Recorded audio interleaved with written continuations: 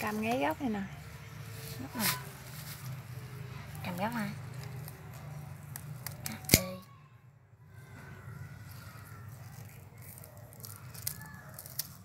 Cắt vô để vô nồi cháo. Nè con làm gì ăn nước rồi nè.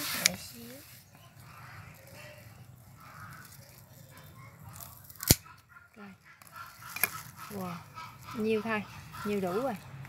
Còn này để lại khi nào mình ăn thì mình cắt nữa mấy cái này thì nó sẽ lên nó sẽ lên tược lại.